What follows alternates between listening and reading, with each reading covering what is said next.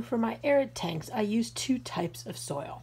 This mix, and I actually already had some of it mixed up, so that's what you're seeing. It's kind of all jumbled together. And I put the topsoil down and then poured the other stuff on top of it and didn't lay it out neatly um, like I did in my other video because I wasn't thinking about making a video and then I realized I needed to do this. So um, apologies for that. But I'll put the recipes in the description so that you can read all of the parts because um, it's late at night while I'm making this and I'm too tired to tell you off the top of my head even though I just looked at it to make sure that I did the ratios the same way as I usually do.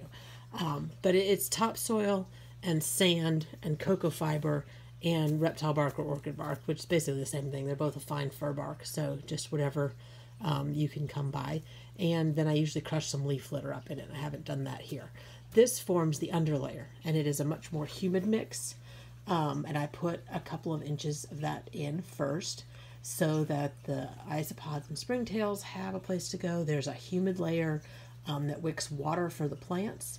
And um, I make sure that this layer stays visibly damp on about the third like the right my my hot side so far have always been on the left and my humid and cooler sides are on the right. So about the third a third of the right side of the tank um, I make sure stays uh, kind of visibly damp in this layer. And I will take a daylight shot of that to add to this video so that you can see what that looks like.